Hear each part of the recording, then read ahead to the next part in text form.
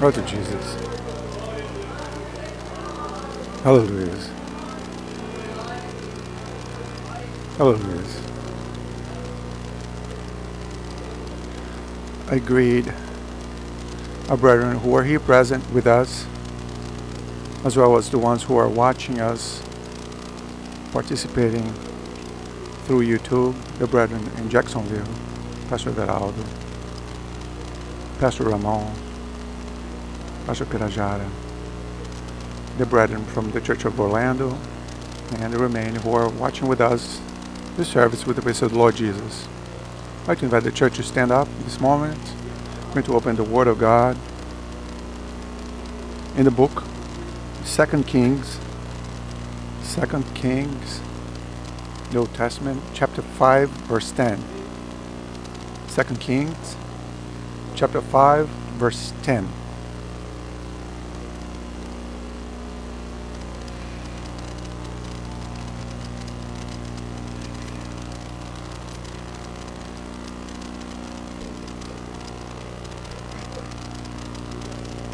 Thus says the word of our God. Então Eliseu lhe mandou um mensageiro dizendo: Vai, lava-te sete vezes no Jordão, e a tua carne será curada e, fi e ficarás purificado.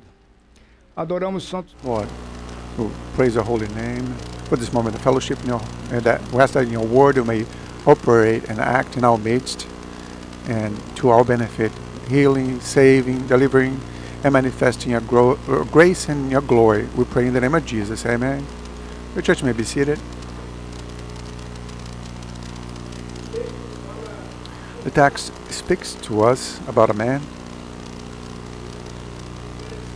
And what is interesting is that it doesn't not only speak about the name of this name, uh, the name of this, the name of this man, the Lord registered, uh, left here, registered his curriculum. He had a curriculum, and the Bible says that this man called Naaman, he was chief of the army of Syria, the king of Syria. He was uh, a powerful man, a man that was very well respected, because through this man, God had given deliverance to the Syrian empire. This man was a man of valor. It was the curriculum of this man. He lived in Syria, and at the time, the capital was Damascus, and Damascus was a city that was, we can say, it was a very blessed city. It was a large city, a prosperous city, a city which was rich in culture and knowledge. And then Syria was uh, was part of Mesopotamia, and it was the, the, the birthplace of civilization, writing, culture, system of irrigation and navigation, all started there. So he lived in a country that we could say very productive, country that at the time everybody would want to reside and live there. So he lived there, and that place had two very well-known rivers. The lower parts of this river, the valley of this river, was known as the Garden of Allah. Uh, so beautiful it was. Abali Farpa, uh, the name of the rivers. And also in Syria, there were many gods because it was a nation polytheist. They had many gods.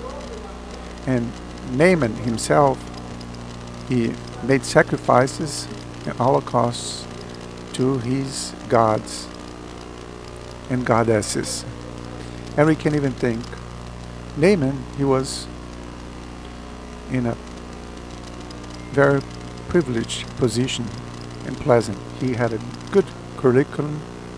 He lived in a, a good country, a beautiful city, two rivers with crystal clear waters, pure waters, a very fertile place. a place with a lot of culture and knowledge. But the Bible says that this man, he was, he was had leprosy. So we know that we realize that the culture, the medicine, the art, the science, his curriculum, the king that he had, the gods that he had, the rivers that he was that he had access to, they were not enough to heal this man of his illness. So the resources that he disposed of in Syria, they were not enough for him to be able to have once again health and having life again because he was a leper and his days were numbered towards his death. And the Bible says that, however, the Bible says that in those days, he came back from a battle in Israel and brought from Israel a little, a young lady. The Bible doesn't even mention her name. She didn't have a curriculum. Was a young lady that went to live and reside and live and and was went there to work for the wife of Naaman. This month we spent the month working for our co-workers so that God may use our lives so that God might rescue our co-workers. So this girl was in that house and the Bible says that she was taken captive, she was taken as a prisoner. She did not ask to be there, but she was forced to be in that place. But in spite of all of this, this young lady, she gave a good testimony of the God of her life. And Jesus says, Go throughout the world and preach the gospel to every creature. But even after that, Jesus says himself, and you will be witnesses of me. So this young lady, she not only preached, but she also testified in Syria in the house of Naaman about the God, regarding the God that she knew. The Bible says that we should never stop talking about we have seen and heard. So she spoke about what she saw and heard. She what she, she testified of the power of God to that family, to that home, to her lords. And the Bible says the following that that young lady said, Oh, I wish that my Lord Naaman could have come and present himself in front of the prophet who is in Samaria. And that young lady, that word, that truth that she said it in that place at that moment brought hope to that man caused that man to get up and go to his Lord and to testify now to his Lord what that young lady had told him. Because this young lady, she gave to him a revelation. This was a prophetic act of God for the life of that man. So when look in the book of Job, it says, if you if you if there is a messenger with him, an interpreter, one among thousands to declare man to his righteousness, then he shall have mercy of them, and you tell him, deliver them, so that may not go to the tomb, and that he may be rescued, and his flesh will go green again, better than when he was a, a baby. And it is in the book of Job. If there was a messenger, interpreted somebody to declare to men, and that girl, she was a messenger from God. She was somebody that was used by God to declare to that family, to that house, to that place that was for him a cure, there was for him a rescue.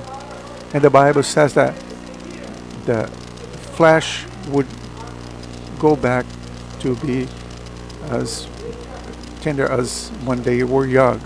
And we will see here that that's exactly what happened with the life of Naaman.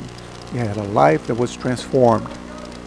So that the girl, she said those things, and he goes to the to the king, and the king of Syria also believed in the girl.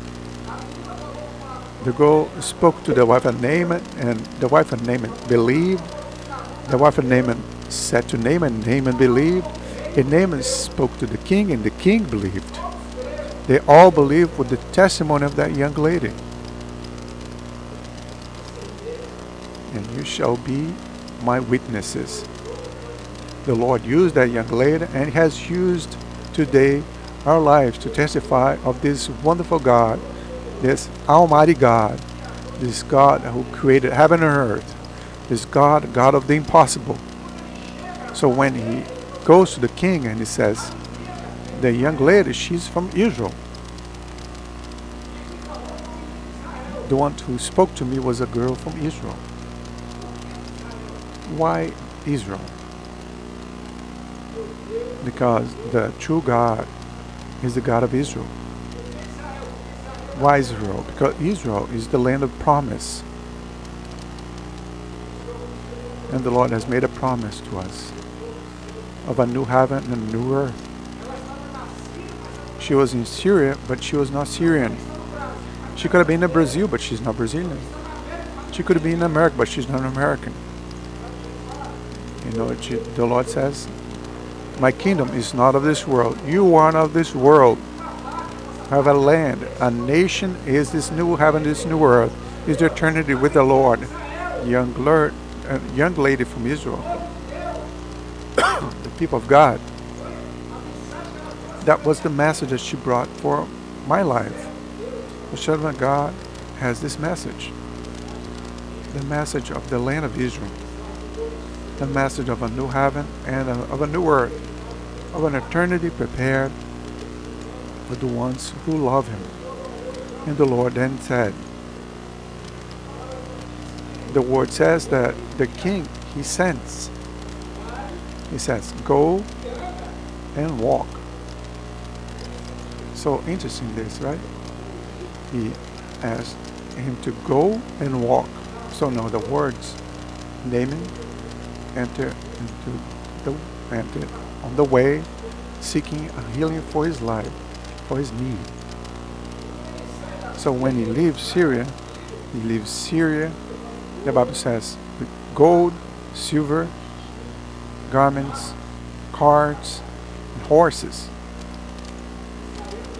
He left that place and went to Israel. It was very common those days when a man presented before uh, a, a seer, before a priest or a prophet to bring gifts. That's why he prepared uh, all this stuff he prepared garments, clothing, but the gold that he possessed, the dresses that he possessed, the house that he possessed, the horses, the man, they could not place him before God. The resources that he had, they were insufficient for him to present before the man of God. So the word says that he goes, so he comes close to the house of the man of God. Firstly, he went astray because he wanted to hear the advice of his king, the king of Israel. He said, Go there seek the king of Israel. He has authority sometimes we receive advices. The Lord asks us to use the strength of God to give us an advice, give us a direction. He says, seek the prophet, seek the man of God, and your situation will be resolved. And many times man don't, doesn't do this. He seeks a representative. He seeks a man. I'm go to, to that church and there I'm going to look for a pastor I'm going to seek the bishop or a missionary, seek a, a politician, I'm going to seek the president, I'm going to seek the king. But the young lady said, the servant of God said, that in order for him to be saved, to be healed, he did not need to go to the king or to man. He needed to go to God. So when he realized and when he goes to the presence of the king of Israel, he the king of Israel rips his garments and he says, Am I God? So that's very interesting. The king of Israel recognized I'm a king, but I have no power to do this. Medicine cannot resolve it. The authorities cannot resolve it. The kings cannot resolve this. And I also cannot resolve this. So if if you, my brother and sister, if you came today to the house of the Lord seeking a result for your life in man, I'm going to tell you something. We cannot resolve your problem we have no power or authority to purify man of leprosy or to forgive their sins. Not even my own sins. That's why he rips his garment. He says, I'm man. He's showing that he's a man. The Bible says, the Bible says, curse is the man who trusts in man. So every time that we trust in man, we are cursed. Doesn't matter if he's a king or a priest and if he's this or that.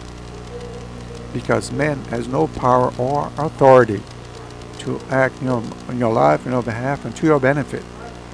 To rescue you, to rescue, to save you, to transform you. So he leaves that place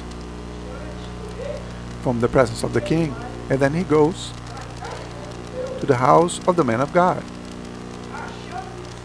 thinking that he's curriculum that what he had, that he possessed, he could present before God. Present himself before God. But that's not how it works. Our resources are, they run out.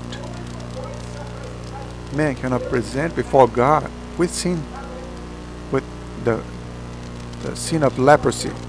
So then he came to the house of the man of God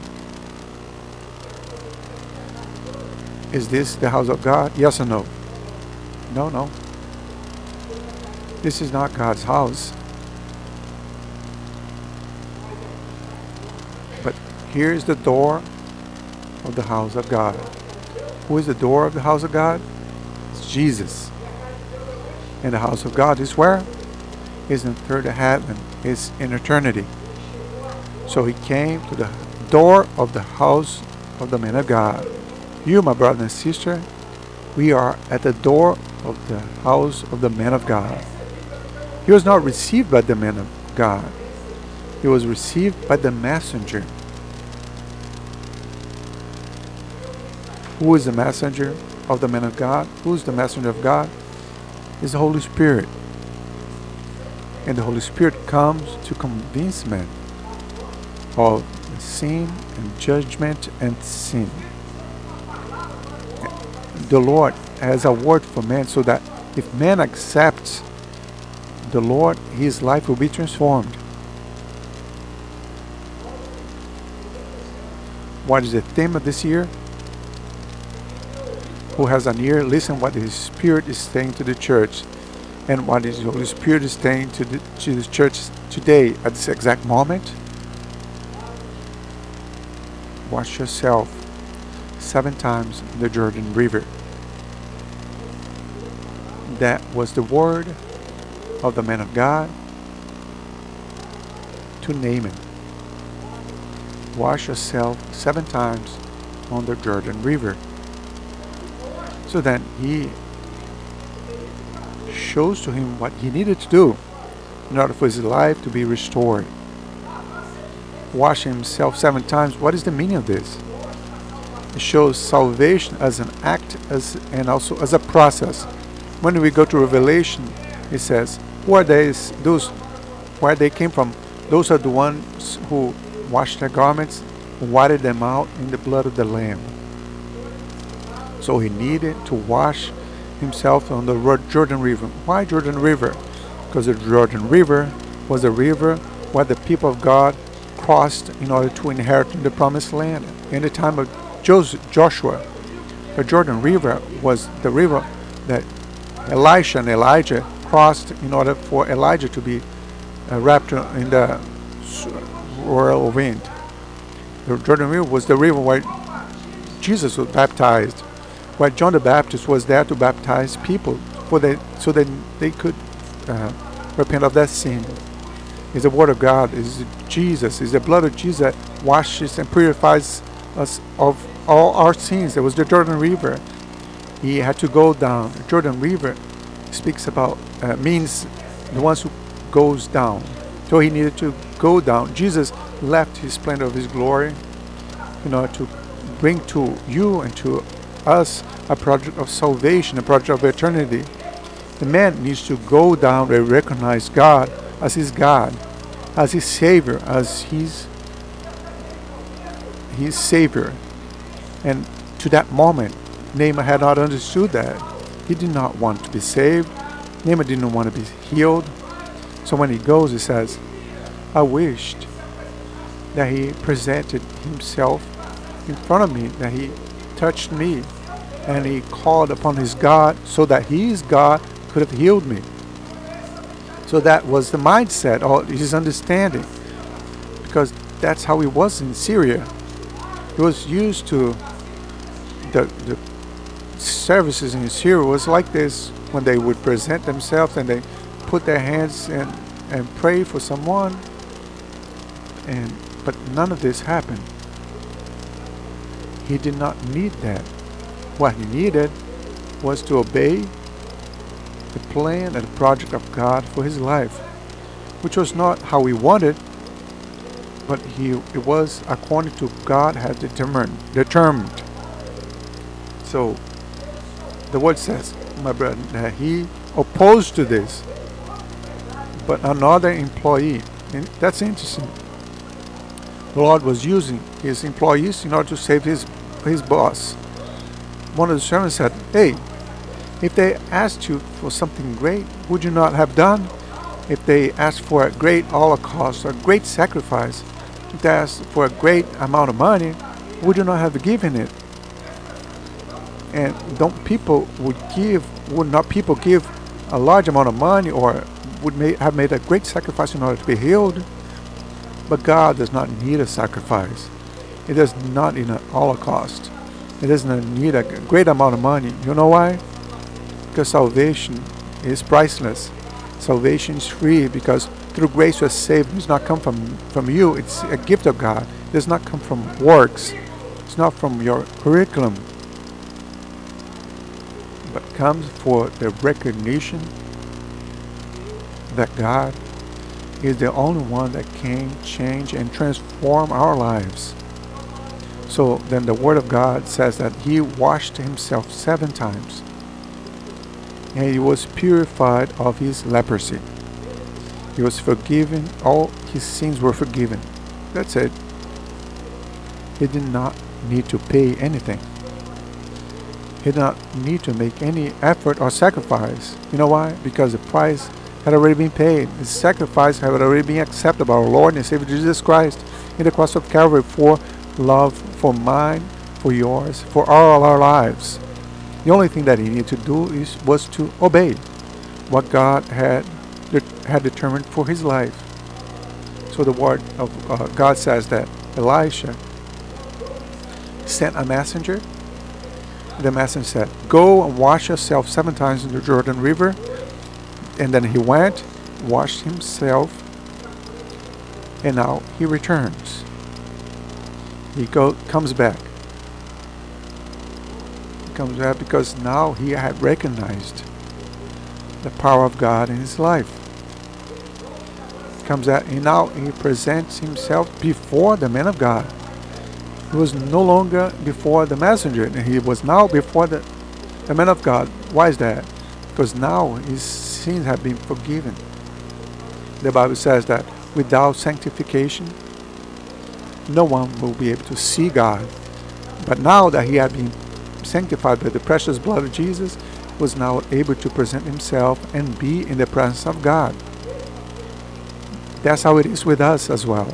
When we accept the sacrifice of Jesus in our lives, when we wash ourselves and purify uh, uh, our sins through the blood of Jesus, now we have access to the Father, access to the presence of God. You know, to say to God that that's what he did. He went there to testify to God. And he said, Now I recognize there's no other God other than in Israel. Amen. So this project of God for that man was not only to heal him, but also to save him, because the desire of God that all may be saved and have the knowledge of the truth. And he said the following. So then Elisha sent a message saying, Go and wash seven times in Jordan River, and your flesh will be restored. That's the desire of the Lord. That you leave tonight purified, purified by the blood of Jesus, and leave this place with your sins forgiven, and leave this place knowing, saying that only the Lord is God, only Jesus is God. He is the one who washed you, purified you, and sanctified you, and has forgiven you of, of all your sins. We need to leave this place saying that there is no other God than the God of Israel, the Lord, the God who has created heaven and earth. Amen. Let's hear a song.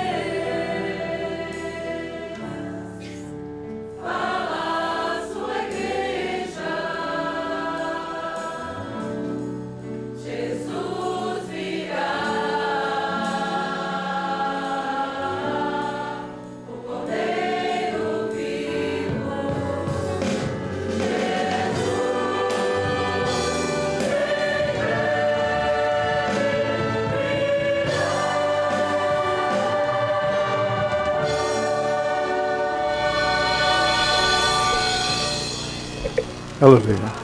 Glory to God. What is your name, God? Hallelujah. The Lord was showing a man that participated the service yesterday and today is here once again participating. And the Lord has shown that yesterday he heard a message about the absolute truth. And this has caused him to have a desire to know more of this truth. This truth is Jesus. I'm the, way, the truth, and the life. He is the absolute truth. No one goes to the Father but through me. He is the only one who has power to forgive sins. He is the only one who has power to transform man's life. He is the only one who is going to come to take his church, his faithful church. If you believe, you see the project of God being fulfilled in our life. And he has, the word, the Lord has shown that he has cuffs. He was shackled and, and it has prevented him from, and this weight that has caused him uh, to, not to be able to walk uh, dexterity in the presence of God. It is attached. It is uh, symbolized that he is attached to religion. Religion does not save. Christ saves. Denomination does not save. Christ saves. No man has the power to save, but Christ, He saves man. He delivers man. He transforms man's life. He is the way. If, if someone, if man follow this way, he will get to eternity. Many times we are attached and we're imprisoned to a denomination, to the religion, and that prevented us, prevents us from walk in a steady way in the presence of God. But today, the Lord was showing that He was removed the shackles to allow him to walk freely in the presence of the Lord. The Lord also has shown that during the period when which the children were singing a song, the Sun of Righteousness will go up, and it was showing a land. The heart of man was dark, but as soon as the song was sang, the Sun of Righteousness was Jesus, it would shine upon our hearts. Jesus is the one that takes man out of darkness in order and brings him to light. And that's what he's doing to us tonight. The Lord also has shown a woman, she was invited. She was able to observe that her garments were not according to what the other people was were wearing here in this place. And she she was feeling like she was feeling that she was improperly uh, dressed, and she was even feeling like she wanted to leave this place because of this. But the Lord was showing that the person that invited you, is the Holy Spirit of God, was replacing the garments of this woman and was giving her a place so that she could be with us, praising and glorifying the name of God. Our garments, they are inadequate but the Lord God, the Holy Spirit. He has the garments of salvation to give to each one of us. You just need to do like you did, my sister. Recognize that your garments are inappropriate, and so that you can receive garments of praise instead of a uh, anguished soul, eyes of joy instead of tears. That's what the Lord is doing to you. Replace your garments so that you can participate on this feast, the, the wedding of the Lamb that is being prepared for his people, for his church. Invite the church to stand up. I'm going to have a word of glorification to the Lord. Lord, we glorify your holy name for your acts of righteousness. We feel your whole real presence, your mercy. We praise because have operated every day in our place. Praise the holy name. For, glorify for your word in the name of Jesus. Amen. And that song, right? Is that the song? Amen. So let's sing that song.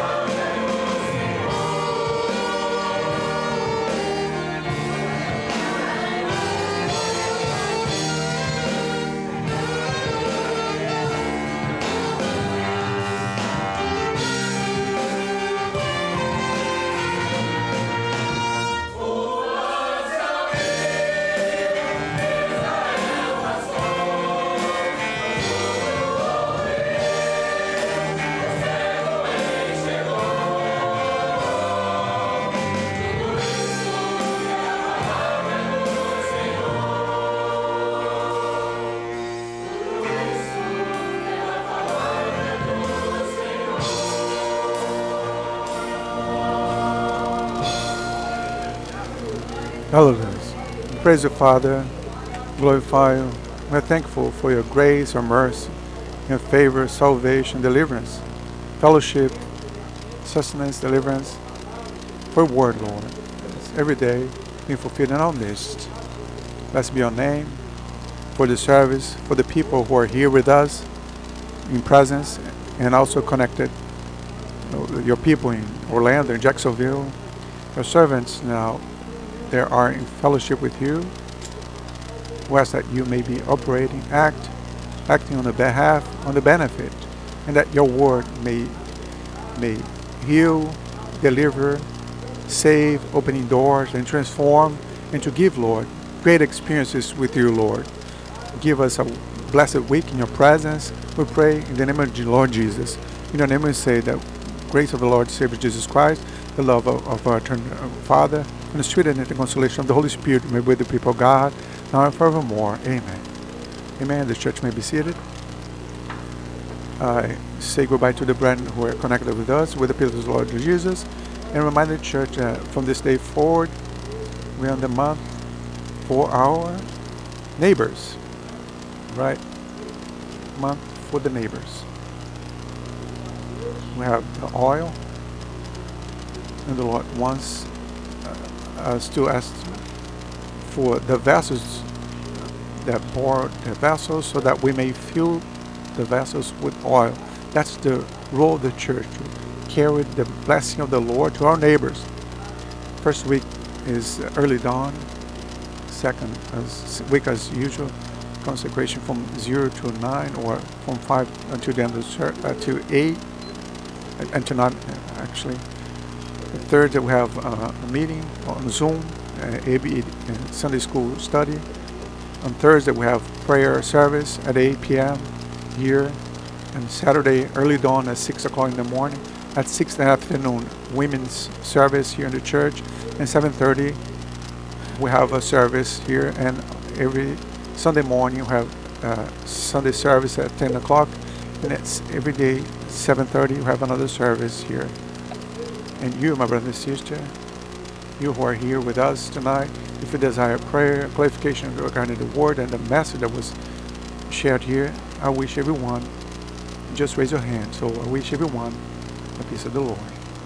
It's still raining.